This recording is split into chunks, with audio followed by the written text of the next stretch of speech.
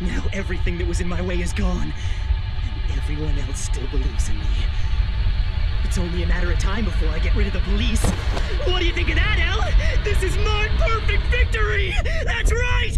I